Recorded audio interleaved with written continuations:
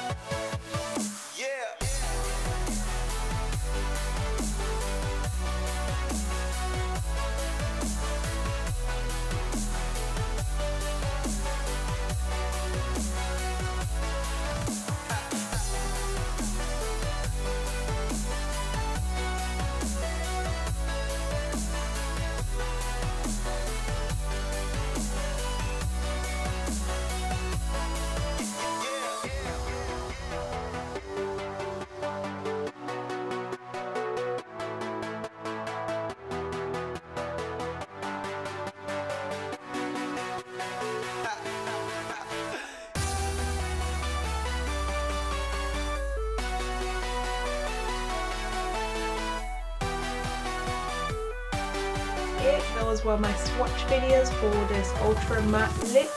and hope you enjoyed it and thank you for watching. So, bye!